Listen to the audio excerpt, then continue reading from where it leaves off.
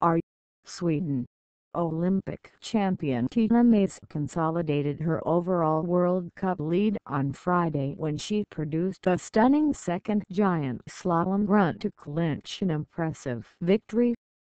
The Slovenian had trailed in seventh from the first leg earlier in the day in Are but finished 0.2 SEC ahead of Sweden Grave Accent S. Sara Hector and 0.28 SEC ahead of Eva Maria Brem of Austria in third. Brem had been fastest in the early run and looked set for victory before a late slip, but can console herself with the overall lead in the Giant Slalom World Cup standings after three events.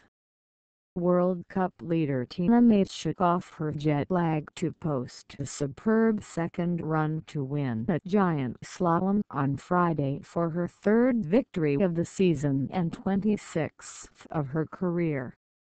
The Olympic giant slalom champion from Slovenia was in seventh place after the first run but gained time on the bottom section of the Olympia course to win in a combined time of 2 minutes 23.84 seconds.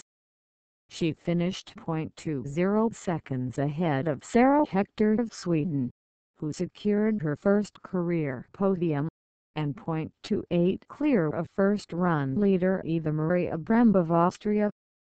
I did a really good job with two mistakes. It's amazing to be up there in first place said Maze who was making the transition to Europe after racing in Canada last weekend. I'm still jet-lagged.